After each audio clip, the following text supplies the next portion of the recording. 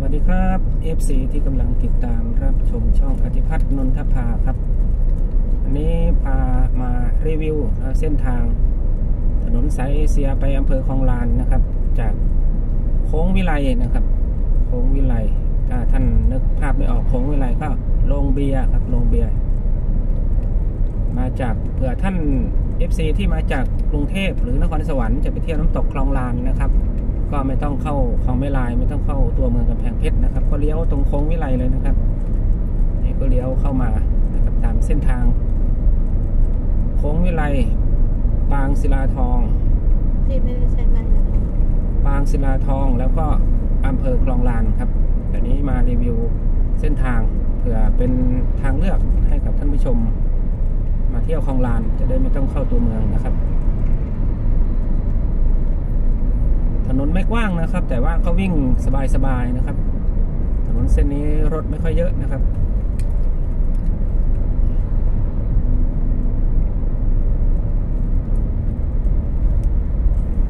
ตรงนี้ครับอ่าตรงนี้ก็จะเป็นบ้าน บ้านโพทอง เข้าเขตอำเภอปางศิลาทองโค้งวิไลก็จะเป็นอำเภอคลองขลุงนะอาจารย์พิมพ์เนาะค่ะอำเภอคลองขลุงคลองขลุง มาปางศิลาทอง อันนี้เป็นบ้านวังหามแหครับ บ้านวังหามแหก็จะมี เป็นโพทองเขาเรียกตำบลโพทอง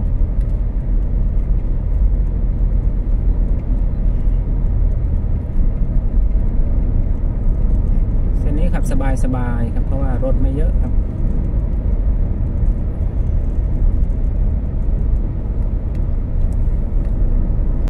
อ่าแล้วครับ ตรงนี้ก็จะเป็นแยกสามแยกเนาะ ถ้าเลี้ยวขวาก็จะไปโรงเรียนวัง ไสวิทยาคม ไปสี่แยกวังไสครับ วังไสคลองขลุงนี่แหละครับ เลี้ยวขวาไป เป็นสามแยกนะครับตรงนี้ ท่านผู้ชมถ้ามองไปอาจจะเห็นแสงแสงเรืองเรืองๆนะที่ส่องประเทืองเนี่ยไม่ใช่เลยนะครับ ขับรถหาหาแดดครับส่องแดดส่องเต็มๆเลยก็ต้องขออภัยอาจจะแยงตาหน่อยเนาะแสงเงินแสงทเอ่อองแสงเงินแสงทองวันนี้พาท่านผู้ชมมารับแสงเงินแสงทองกันแตอนนี้ก็ห้าโมงแล้วครับ เราขับรถไปทางทิศตะวันตกนะมุ่งหน้าสู่อำเภอคลองลานครับ ตอนนี้ก็จะเข้าเข้าสู่ตัวอำเภอปางศิลาทองนะก็จะให้ชมบรรยากาศสองข้างทางนะครับอำเภอปางศิลาทองจังหวัดกำแพงเพชรเหลืออีเจ็ดกิโลเมตรครับเจ็ดกิโลเมตร ดูหลักกิโลนะครับ ปางศิลาทอง ก็เป็นตลาดใหญ่นะครับ ปางศิลาทองมีปั๊มปตทท่านผู้ชมถ้าถึงแล้วเหรอ ถ้ามาเนี่ยก็ไม่ต้องห่วงว่าจะไม่มีห้องน้ำเข้านะครับ ซึ่งทุกคนเชื่อว่าห้องน้ำที่ที่ดีที่สุดในยุคนี้ก็ต้องถามหาปั๊มปตทแหละครับ ยังไม่ถึงก็ยังยังหมายถึงว่าข้างหน้าไง หมายถึงว่าคนที่มานะไม่ต้องกลัวว่าจะไม่มีห้องน้ำเข้า ถึงบ้านไหนแล้วเนี่ยทางแยกบ้านของขุดใช่นะครับ รถนักท่องเที่ยวก็มีครับ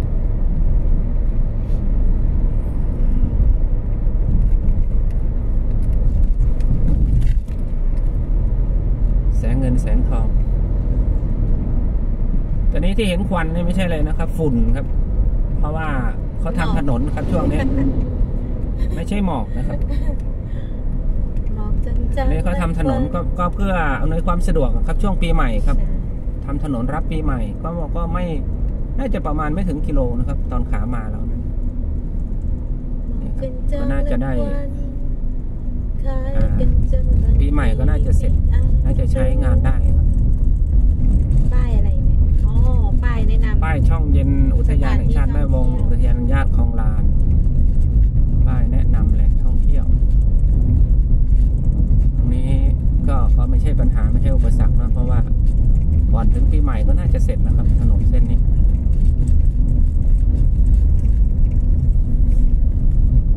หยุดไว้ก่อนก็ได้จะได้ไม่ซีเสียงต รงนี้นะคะ รถติดค่ะค่อยๆขยับ มีรถปะพรมน้ำฝนอยู่ด้านหน้า เออทำถนนครับอ่าดูดูหมุนได้ปะได้ได้ดูวัดสวยๆ สีขาวข้างทางชาบตรงนี้ อันนี้วัดอะไรนะ วัดท่าขึ้นค่ะ วัดท่าขึ้นเนาะใช่วัดท่าขขึ้นศาลาเป็นสีเหลือง เอ๊ะศาลาหรือโบสถ์เลยค่ะพี่กุพีโบสถ์เป็นศาลาอะไรก็ไม่รู้อะ ไปไปแล้วครับ สีเหลืองเรืองๆทองทองๆที่สองประเทืองอยู่ครับเอ้ยเลยคือเราพี่ให้เข้ามาค่ะนี่นี่นี่นี่เขาจะโดนเราไหม่ในน้ำโดนนิดหน่อย นิดหน่อยไม่เป็นไรเดี๋ยวเราเข้าไปล้างเอานะอันนี้ก็ทำถนนครับน่าจะประมาณหนึ่งกิโลได้โอ้ถ้าเกินนี้น่าจะเลยแล้วค่ะเลยกิโลแล้วค่ะกูพี่เลยหนึ่งกิโลแล้วค่ะ น่า จะสองโลค่ะ เพราะว่ายังไม่สุดเลยใช่ไหมน่ะเนี่ยเนี่ยถึงอบตตอนนี้เลย ตอนเนี้ยที่เราขับมานะน่าจะเป็นกิโลกว่าแล้วค่ะคุณพี่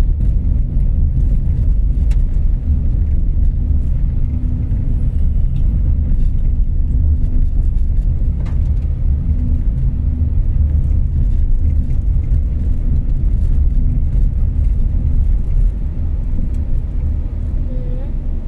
มีบึง ด้วยตรงเนี้ย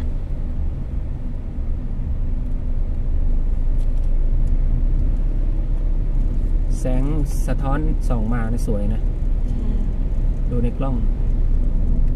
นี่แหละครับเสร็จแล้วโอเคครับปีใหม่ก็น่าจะวิ่งฉิวแล้วครับตอนเนี้ยอะไรคือชิวอ่าตรงนี้ก็จะใกล้ถึงตัวอำเภอแล้ว ตรงนี้ลานมันใหญ่เลยเนาะใช่ค่ะลานมันใหญ่มาก รันมันท่าข้าวด้วยว่าค่ะถ้าข้าวรันมันโชคชัยแสงฟ้าโชคชัยชอบบรรยากาศดูในกล้องแล้วสวยมากเลย เพราะว่าเห็นแสง แสงทองแสงแสงทองตะวันกำลังจะรับขอบฟ้าตะวันตก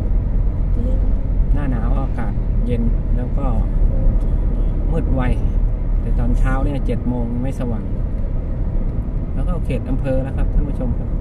อำเภอปางศิลาทองนี่เป็นอำเภอปางศิลาทองครับตลาดนัดวันเสาร์นี่ใหญ่มากครับ ตลาดหินชะโงกอะเขาเรียกหินชะโงกเอ่อบ้านหินชะโงกนะ ชื่อบ้านหินชะโงก หินชะโงกออกมาจากภูเขาข้างขวามือนี่ก็จะเป็นปั๊มปตทมีเซเว่นมีอเมซอนมี สินค้าขาย ข้างทางก็จะเป็นตลาดตลาดตลาด ทางซ้ายมือนี่ก็จะเป็นเป็นตลาดขายกับข้าว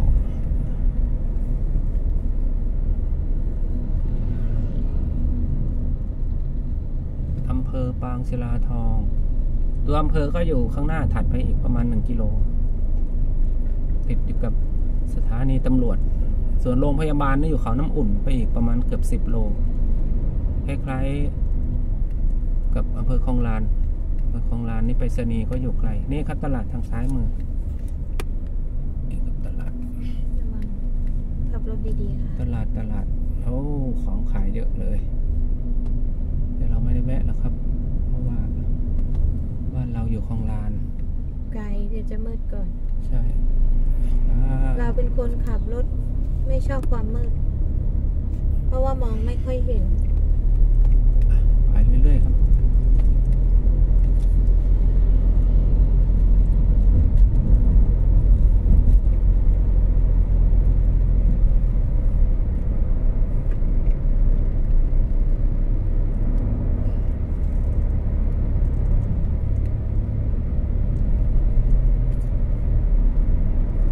คลองหินชะโงกนี่ครับคลองหินชะโงก ร้านลาบ ร้านซาบแซบกาลสินธุ์แซบกา ลสินธุ์แต่มาอยู่ปางศิลาทองกำแพงเพชรแซ่บจริงป่ะคะคุณผีแซบอยู่เคยตอแวะนนี้กิเป็นตลาดนัดไอ้ตลาดนัดเย็นเนาะท้ายมือในยเมื่อกี้เนะวันอะไรว่าไม่แน่ใจวันวันจันทร์วันจันทร์เหรอวันจันทร์เป็นหลักวันจันทร์วันพุธอ่าครับก็พาท่านผู้ชมนะครับ EP นี้นะครับก็มาดูรีวิวเส้นทาง จากสายเอเชียนะครับ มาอำเภอคลองลานครับ โค้งวิไลนะครับ ตรงโรงเบียครับโรงเบียช้าง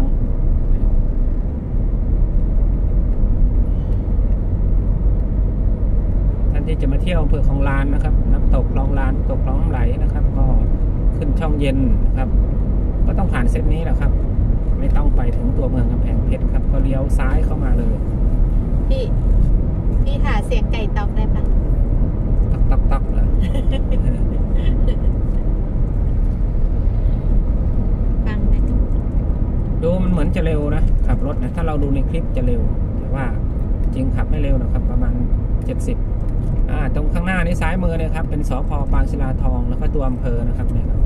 สถานีตำรวจนี่ครับท่านผู้ชมครับ ภูธรสองข้างทางทางซ้ายมือครับเป็นสพอ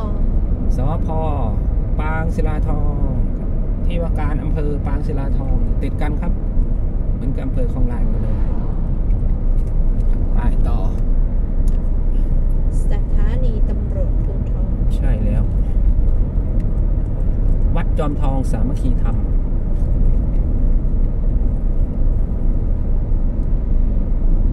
ถนนวิ่งสบายๆครับ ไม่ค่อยมีรถหรอกครับ เส้นนี้ ช่วงเทศกาลก็ไม่ค่อยมีรถครับ เพราะว่าไม่ใช่ถนนสายหลักสายเอเชียแล้วรถรถแน่นแน่บางในช่วงเทศกาลเขาก็ชอบมาเส้นนี้นะ เพราะว่าเป็นการเลี่ยงมา มาจากกรุงเทพก็เข้ามาทางอุทัยหรือมาทางลาดยาว ผ่านอำเภอคลองลาน แล้วก็ไปตัวเมืองกำแพงเพชรขึ้นขึ้นเหนือขึ้นเชียงใหม่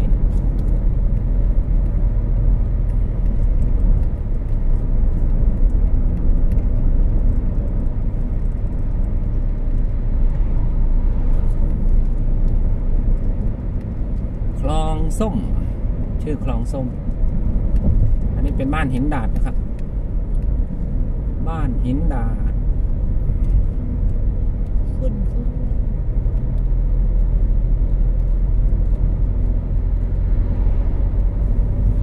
โอ้เขาเผานะเผาที่มันควันเยอะเพราะว่ามันกดความกดอากาศเนาะอากาศมันเย็น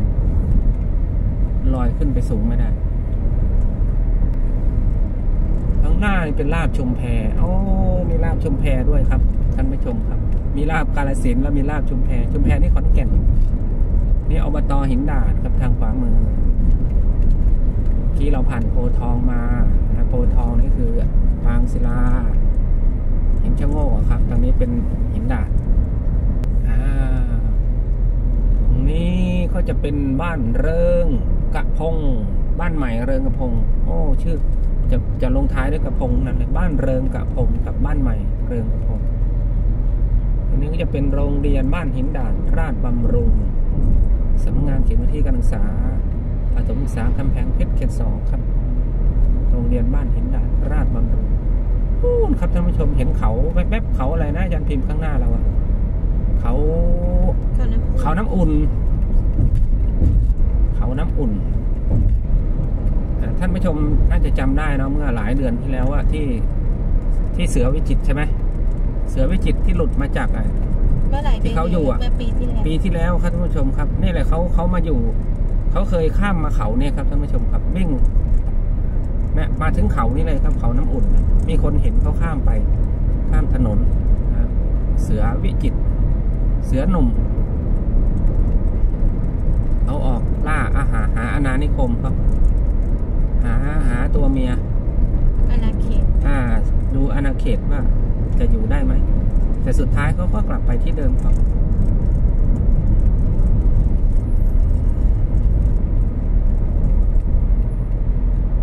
อำเภอคลองลานก็เป็นอำเภอที่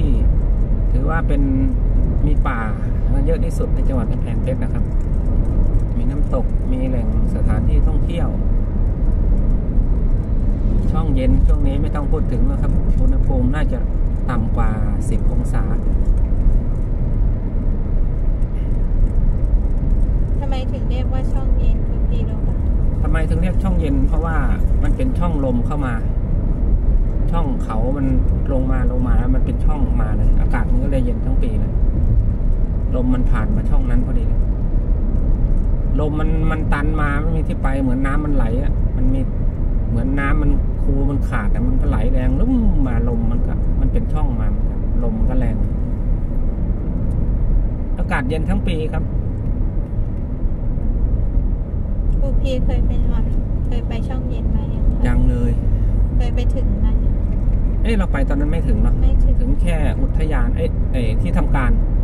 เนาะค่ะที่ทำการ เราเลยไปที่ทำการเนาะเลยไปหน่อยนึง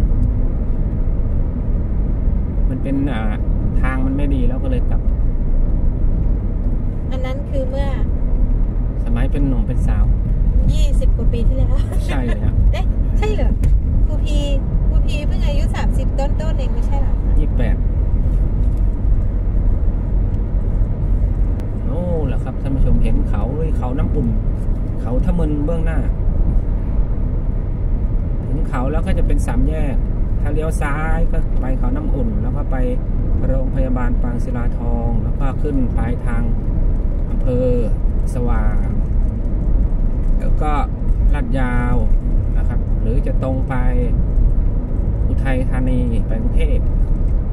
เลี้ยวขวาก็ไปอำเภอคลองลานครับท่านผู้ชมครับ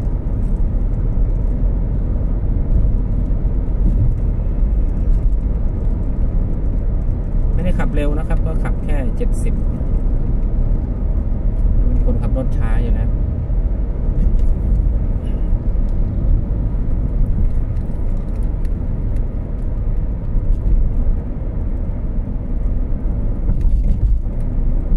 เออกล้องอาจจะสั่นนิดนึงนะเนาะว่ามา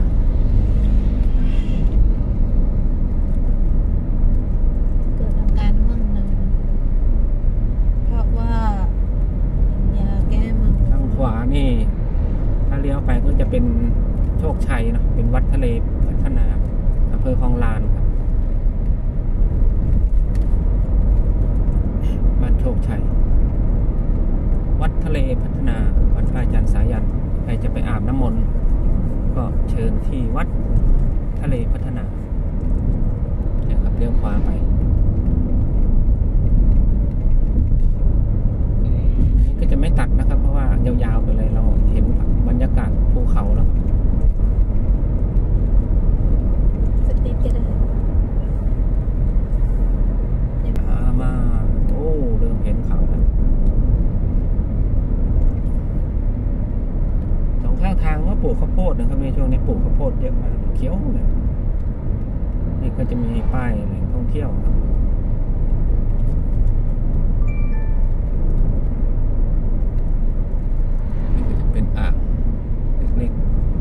เชิญร่วมงานเททองหล่อพระโมกคัลลา สารีบุตรพ่อผมมาสวยงามเดี๋ยวให้รับก็ได้ นี่ครับท่านผู้ชม เห็นไหมครับ เขาน้ำอุ่นโอ้สวยมากเลยอาจารย์พิมพ์นี่ครับท่านผู้ชมครับ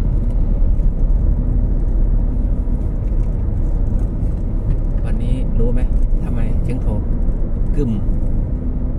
อ่ามาแล้วครับ นี่นี่นี่ซ้ายมือลาดยาว ขวามือคลองลาน สวยงามมาก รถบัสวิ่งผ่านเส้นนี้ใช่ไปคขรัอบงร้านกรุงกำเทแพพงขอเพงชรร้านกรุงเทพกรุงเทพคลองลาน อันนี้อะไรเนี่ยเขาทำอะไรขนอะไรวะอ๋อรถบัวไง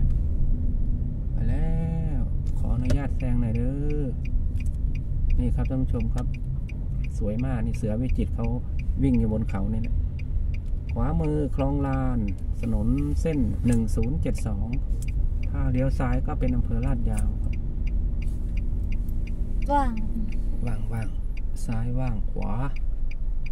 ขวาขวา ขวาก็ว่างโอเคครับท่านผู้ชมเราจะขึ้นเขาแล้วครับ ถนนเลขที่ 1072 ใช่ครับ ถนนเส้นนี้สามารถไปวัดไทยสวรรค์นะคะ วัดที่สวใช่ยครับ เดี๋ยววันหลังจะพามารีวิวเนาะๆค่ะวัดสวยมาก นี่ครับเดี๋ยวเราจะพาบรรยากาศบนเขานะครับท่านผู้ชมครับ สองข้างทางตรงจุดนี้ก็จะมีร้านต้นไม้เนาะร้านใช่ซูเปอร์มาร์เก็ตอะไรสามแยกร้านค้าปั๊มน้ำมันอำเภอคลองลาน 22 กิโล แยกเมื่อกี้ก็จะมีร้านค้าครับท่านผู้ชมครับ 22 กิโลนี่คือไปจนถึงตัวร้านอำเภเราอตัวสพอใช่ที่เอ้ยตัวที่ว่าการอำเภออันนี้เป็นคลองเขาน้ำคลองอุ่นเขาะคะน้ำอุ่นขึ้นเขาแล้วครับไม่ชันสูงชันมากอะครับ เพราะว่าตรงนี้มันเป็นไหล่เป็นเขาไหล่เขาเป็นไหล่เขาแล้วครับ ตีนเขาแล้วเนี่ยซ้ายมือก็เขาก็สูงเรี่ยวเลยไหมครับใช่ซ้ายมือเขาสูงแล้วก็ข วามือก็จะลึกลงไปหน่อยค่ะใช่ครับ ที่เสือวิจิตรข้ามวิ่งข้ามตรงนี้แหละครับเนี่ยข้างล่างเป็นเป็นลำธารนะคะลำธารขวามือขวามือเป็นลำธารแต่ว่าเรามองตรงนี้ไม่เห็นแล้วค่ะต้องอ่าต้นชะไม้ โงกไปหน่อยอ่าถ้าเราขับริมโน้นจะเห็นเลย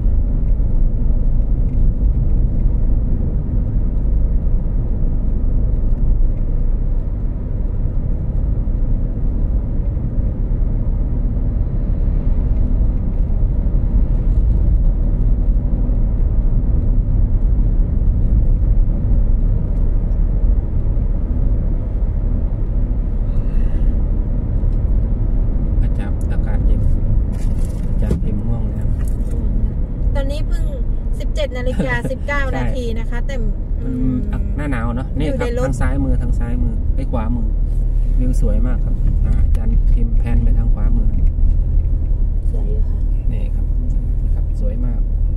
เหมือนเป็นทะเลแหวกไปเลยเนาะอืมถ้าเราไปอยู่ริมอ่าน้ำอ่าเราจะใช่สวยมากสวยมากเลยครับ แล้วก็มีน้ำคลองน้ำไหล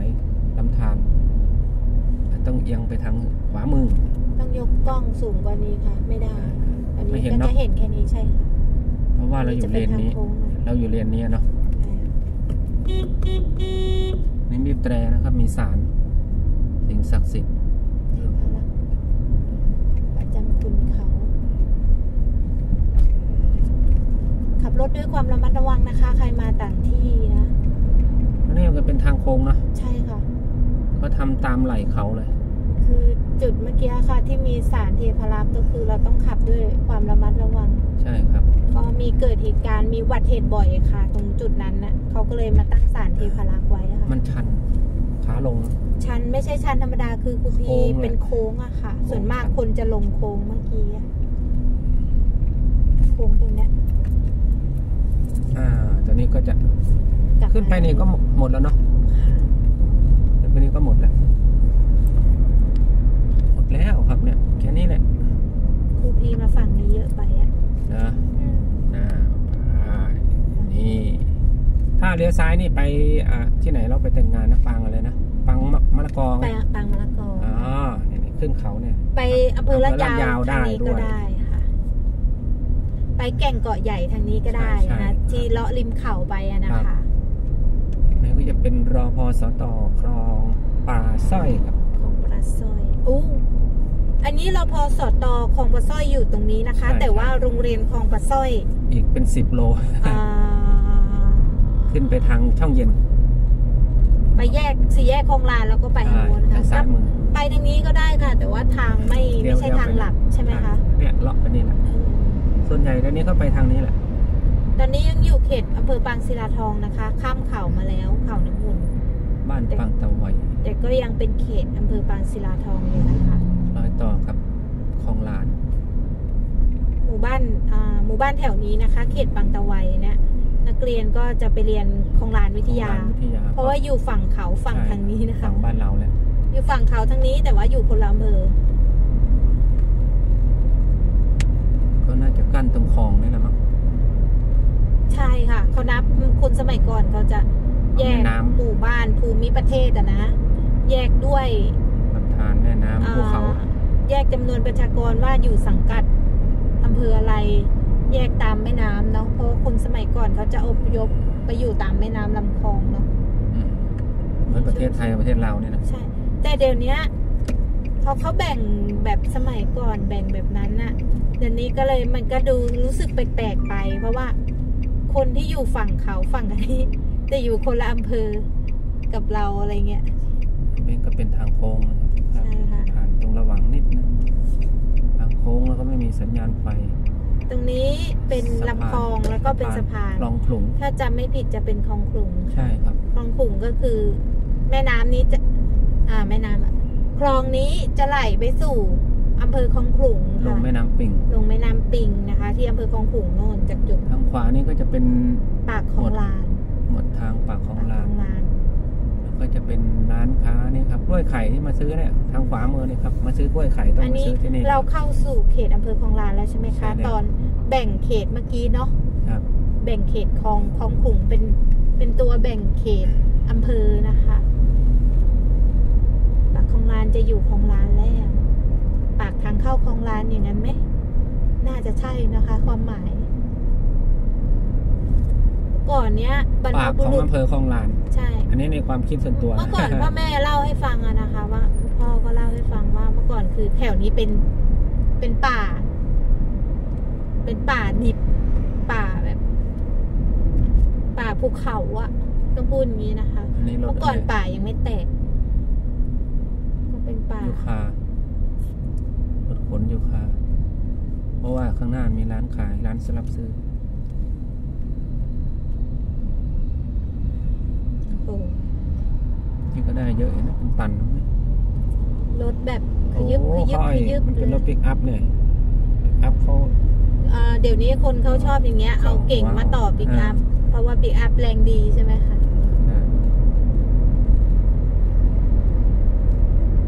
ดีขับเร็วได้ เดี๋ยวเราแวะซื้อน้ำนะครับมีร้านขายน้ำน้ำพลูลิตเนี่ยตอนนี้กี่โมงแล้วเออห้าโมงครึ่งน่าจะยังไม่ปิดเนอะ ไม่แน่ใจว่าเขาปิดห้าโมงหรือหกโมงค่ะ อืมเดี๋ยวดูก่อน ดูก่อน ถ้าปิดก็ เดี๋ยวมาซื้อวันหลัง ปิดก็ไม่สิ้นลาละพรเลยนะหมู่บ้านแสงเจริญปิดแล้วไหมปิดแล้วปะไปซื้อลาลำพรอ๋อแล้วปะยังยังน้ำยัง อ่า เราซื้อน้ำเรียบร้อย ไปกันต่อครับ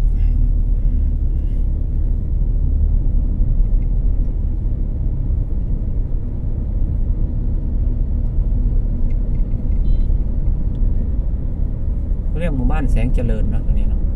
อันนี้ก็ทำถนนใหม่นะครับ เนี่ย ถนนมี มีอ่ากั้นกลางให้นะครับนี่ครับเพิ่งทำได้ไม่กี่เดือนนะครับ ถนนเส้นนี้ ถือว่าเป็นถนนเส้นที่สวยที่สุดของอำเภอคลองลานนะครับนี่ครับท่านผู้ชม ถนนสวยๆอีกหนึ่งเส้นของอำเภอคลองลานเราครับถ้านั่งรถบัสมาจะสวยมาก ใช่แล้ว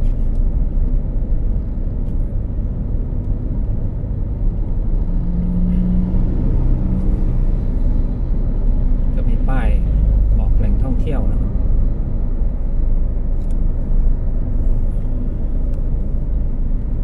มีพิพิธภัณฑ์ชาวเขาด้วยนะเมื่อกี้มีป้ายบอก เพราะว่าอำเภอคลองลานเป็นอำเภอที่มีชนเผ่าเยอะ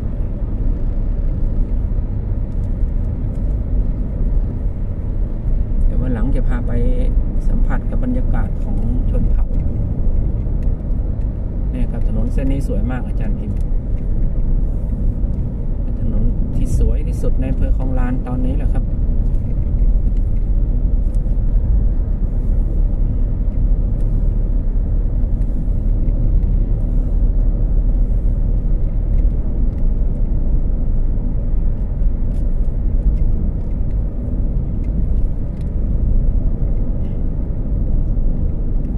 เมื่อกี้แวะร้านน้ำได้น้ำมาแล้วนึกว่าเขาจะปิดนะ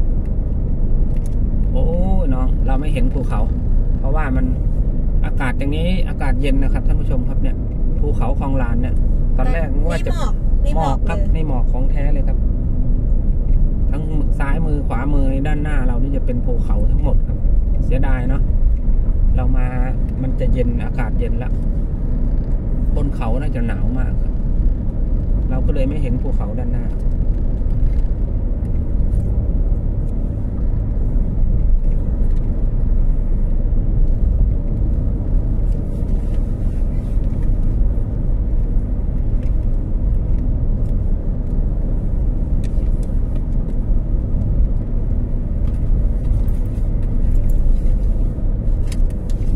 เข้าเขตอำเภอคลองลานแล้วก็ถนนก็จะสวยทำใหม่ไม่เห็นไม่เห็นแล้วแม่นู่นข้างหน้าข้างหน้าจะได้ ถนนใหญ่นะเลยวัดบ้านใหม่ไป ตรงนี้เป็นบ้านใหม่ธงชัยครับ บ้านใหม่ธงชัย ก็ฝากติดตามกดไลค์กดแชร์นะครับ ช่องอธิพัฒน์นนทภา แล้วก็อีกหนึ่งช่องครับ ช่องพิมพ์ระดา 365 ครับ เป็นสื่อกลางประชาสัมพันธ์ ไม่ว่าจะเป็นเรื่องแหล่งท่องเที่ยว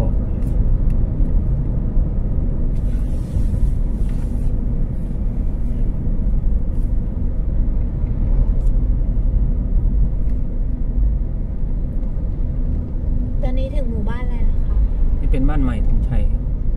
ถึงมอมะค่าหรือยัง หน้า ข้างหน้าใช่ไหม หน้า วันนี้มองไม่เห็นเขาคลองลานเลยมองเห็นแค่แบบลางๆ เพราะว่าวันนี้มีหมอกเต็มเลยนะครูพี ใช่อากาศเย็นแล้ว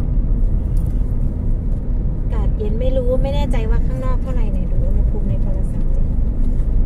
เป็นบ้านมอสำราญแล้วครับตรง อ๋อ นี้ ถึงมอสำราญ ครับใช่มอสำราญ ถ้าอยากมาสัมผัสความเย็น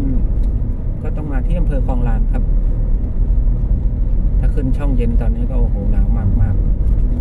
ๆนี่ครับ ตรงนี้ก็เป็นถนนช่วงอีกช่วงที่สวยมากตอนนี้ 28 องศาเองค่ะ ยังไม่หนาวมากๆอ๋อแต่ว่าเย็นแล้วเนาะ มันมันเพิ่ง มันเพิ่งมีหมอกแดดเพิ่งหุบไป อ่าเด็ดตะวันเพิ่งตกไปใช่ตอนนี้ 17นาฬิกา32นาที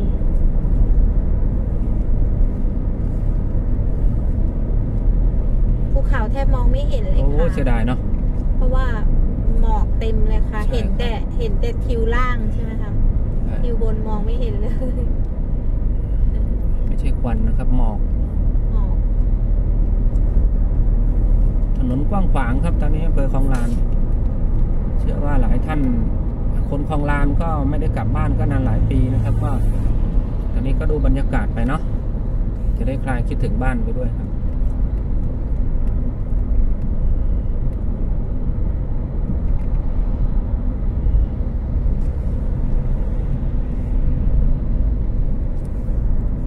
จุดนี้เป็นจุดที่สวยเนาะสวยมาก สวยมากเลยค่ะ ก็ยังเห็นภูเขาแล้วเนี่ย เรามาใกล้เราเลยเห็นค่ะ แต่ก็ไม่ชัดมากอ่า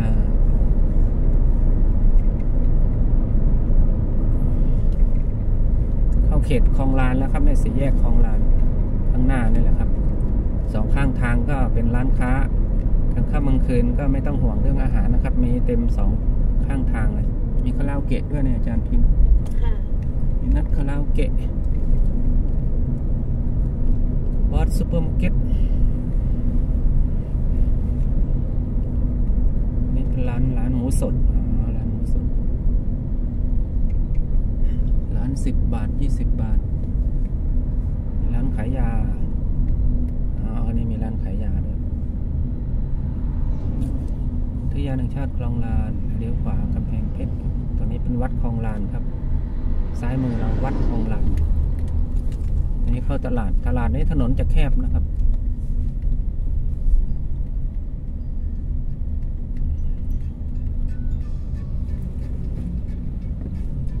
ทางขวานี่ก็จะเป็นธนาคารกสิกรไทย สาขาคลองลานครับ ธนาคารกสิกรไทย แล้วก็จะมีตลาดครับตลาดเย็นครับ มีเซเว่น บรรยากาศคือหน้าหนาวเลยค่ะ ได้บรรยากาศใช่ ได้ฟิลได้อารมณ์โอ้ของ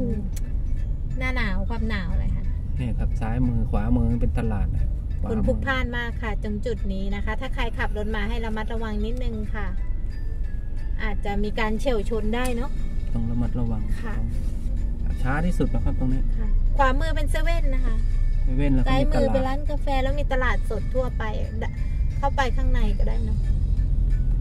นี่ครับเลี้ยวซ้ายก็จะไปช่องเย็นขึ้นช่องเย็น ถ้าตรงก็จะเป็นน้ำตกคลองลาน ถ้าขวาก็ไปคลองน้ำไหลไปตัวเมืองกำแพงเพชรครับ ร้านสามพี่น้องครับตัวสามพี่น้อง เราจะเลี้ยวขวานะครับตรงไปนี่ไปคลองลานนะน้ำตก ยังไม่ได้ไปรีวิวน้ำตกเลยเราไปต่อครับท่านผู้ชม กับรถไปอุทัยนครสวรรค์ลาดยาว จะเป็นศูนย์คุ้มครองคนไร้ที่พึ่งจังหวัดกำแพงเพชรเมื่อก่อนเขาเรียกอะไรนะ ศูนย์สงเคราะห์ชาวเขานะค่ะ จุดพักรถ 11 กิโลเมตร ข้างหน้านี่ไงก็จะมีปตทศูนย์พัฒนาราษฎรบนบนพื้นที่พื้นที่ราบสูงนะพื้นที่ราบสูงพื้นที่หรือภูเขาสูงเออบนพื้นที่พื้นที่สูสูงงอ่านไม่ทัน ซ้ายมือนี่ก็จะเป็นเอ่อในส่วนของพวก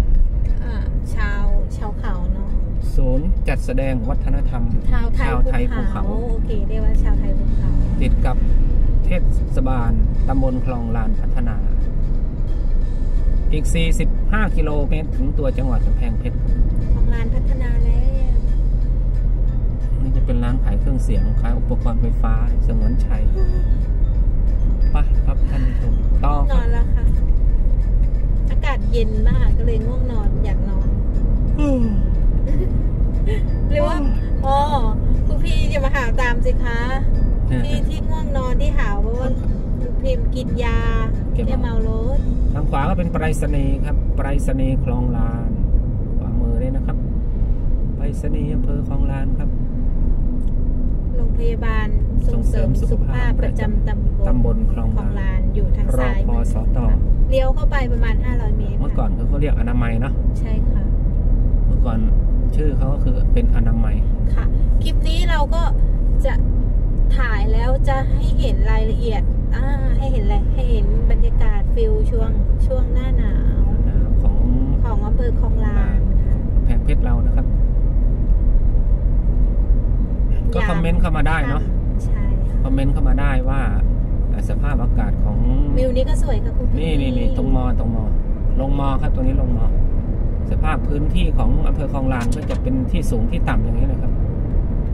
อันนี้ลงเนินมาเรื่อยๆเลยนะคะ ถ้าใครปั่นจักรยานตรงนี้ก็จะเป็นเหนื่อยเลยขาจุดขึ้นที่แบบเหนื่อยนิดนึงค่ะ ข้างหน้านี้ก็จะเป็นคลองเตยครับค่ะหมู่บ้านคลองเตย หมู่บ้านคลองเตยนี่ประชากรเป็นชาว ชาวเขา ชาวเขาเผ่า เผาเมียเย้าอ่าเมียนหรือเย้านะใช่คะครับเย้าแล้วก็ เขาทำเครื่องเงินแล้วก็ภาพปักเก่งมากเลยเนาะถ้าเข้าไปข้างในสวนส้มก็จะเป็นโซนอีสานค่ะหมู่บ้านสวนส้ม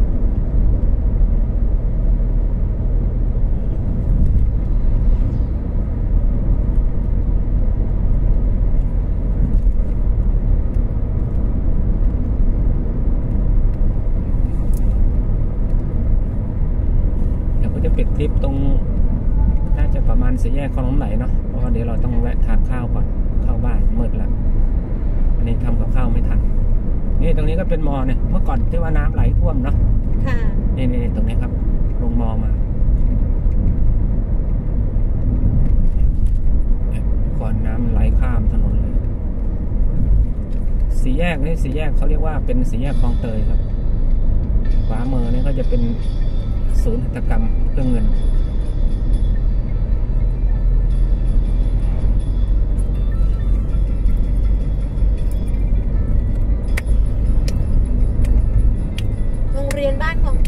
บ้าซ้านยคลมืองอเตยวัดคลองเตยวัดคลองเตยเข้าไปข้างหลังโรงเรียนประมาณไม่วันสองสามโลนะค่ะ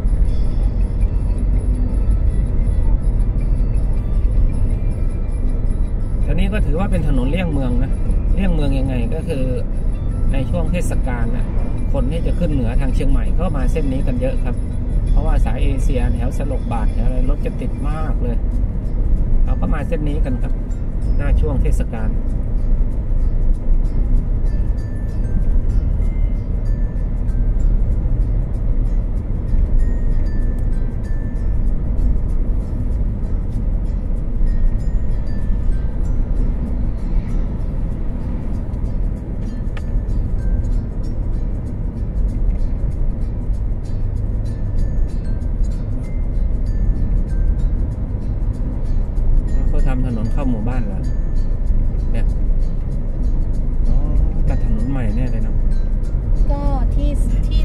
มาดูตอนนั้นไงคะใช่เขาใช่ขายแล้วเขาอาจจะทำบ้านจัดสรรหรือว่าทำรีสอร์ทเออแน่เลยค่ะใช่ใช่พี่มีถนนเข้า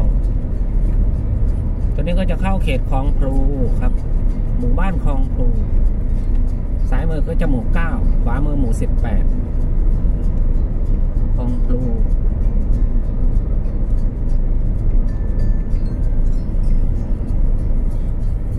เขตนี้ก็จะชื่อก็จะขึ้นต้นด้วยคลองเยอะ เพราะว่ามีไร่คลองอุเยดมใช่ครับ คลองลานคลองน้ำไหลคลองพลูคลองเตยเป็นคลองขวามือก็จะเป็นทุ่งนาสวยงาม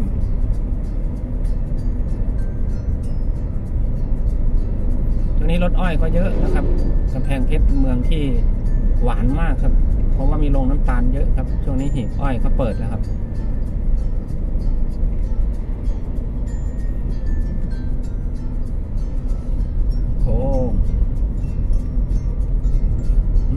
สะพานสะพานคลองพลู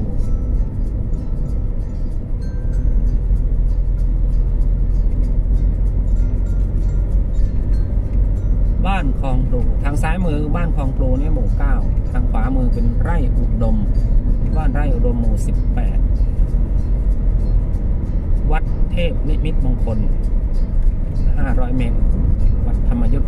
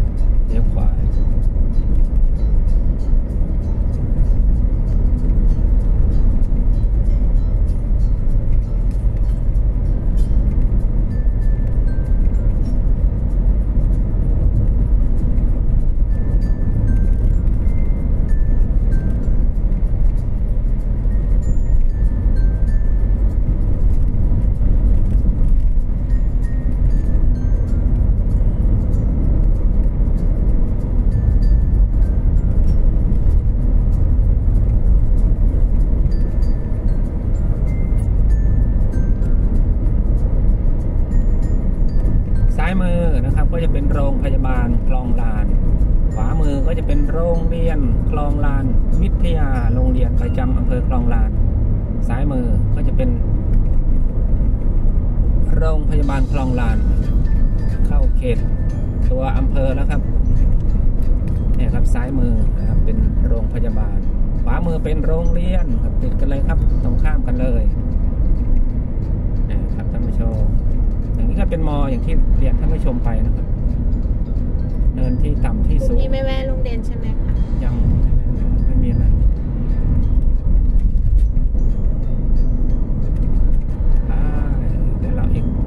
ก็จะปิดคลิปนะครับท้ายๆคลิปแล้วก็ขอบพระคุณทุกการติดตามทุกการกดไลค์กดแชร์นะครับขอให้ท่านทุกท่านมีความสุขนะครับสนุกกับการใช้ชีวิตขอให้ happy ก็จะถึงวันคริสต์มาส Happy Merry Christmas and Happy New Year ขอให้ทุกท่านร่ำร่ำรวยมีความสุขเฮงเฮงรวยรวย Merry Christmas and Happy New Year ท่าน ที่ไม่มีรถส่วนตัวก็ไม่ต้องห่วงนะครับ จะเดินทางกรุงเทพนะครับ ตรงนี้ข้างหน้านี้ก็จะเป็นท่ารถครับท่ารถบขสครับกรุงเทพคลองลานครับถึงกรุงเทพเลยครับคลองน้ำไหลเราก็คลองลานเราก็มีรถวิ่งนะครับกรุงเทพคลองลานสองข้างทางก็จะเป็นร้านค้านะครับร้านรุ่งนภาเซ็นเตอร์ มีโรงแรมซ้ายขวานะครับ โรงแรมไนท์อิน มีโรงแรมรัรีชสอร์ทยาเยอะเกสเลยเฮาค่ะส์อำเภอคลองลานเรามีรีสอร์ทเยอะอยู่สี่แยกเลยตลาด ซ้ายมือก็จะเป็นฮิมต้งเนี่ยครับมีร้านคาเฟ่จุดเช็คอิน ข้างหน้าก็จะเป็นสี่แยกคลองน้ำไหล อีกสองกิโลก็จะถึงบ้านเราแล้ว ตัวอำเภอก็จะเลี้ยวซ้ายเข้าไปครับท่านผู้ชมครับ ตัวอำเภอเลี้ยวซ้ายเข้าไปประมาณ 3 กิโลเมตร นี่ครับถึงตลาดแล้วครับ ตลาดสดร่วมมิตรสองข้างทางนี้ก็จะมีร้านค้า ช่วงเย็นคึกคักครับมีร้านกับข้าค่ะวเราก็จะแวะกินข้าวกันที่นี่นะครูพีเนาะอ่าเดี๋ยวดูร้านนั้นเปิดหรือเปล่าร้านที่เรากินอ่าเนี่ยนี่อยู่นี่ครับโอเคครับท่านผู้ชมครับเราแวะหาที่ทานข้าวได้แล้วโอ้โอ้เดี๋ยวเราแพนให้ดูก่อนนี่ร้านเราจะแวะร้านนี้นะครับ วันนี้ครับนี่เดี๋ยวจะดูที่พอรีวิวได้ไหมครับ ขวามือเนี่ยครับ ก็จะมีร้านเฉียบ นานาพันธ์ร้านรุ่งนภา แล้วก็จะมีตลาดสดร่วมมิตรนะครับโอเคครับท่านผู้ชมครับ EP นี้ก็เอาไว้เพียงเท่านี้ก่อนนะอาจารย์พิมพ์เราไปทานข้าวเนาะค่ะครับเจอกันใหม่คลิปหน้า EP หน้ากราบขอบพระคุณค่ะทุกการกดไลค์กดแชร์ ทุกการกดติดตามครับ สวัสดีครับ สวัสดีค่ะ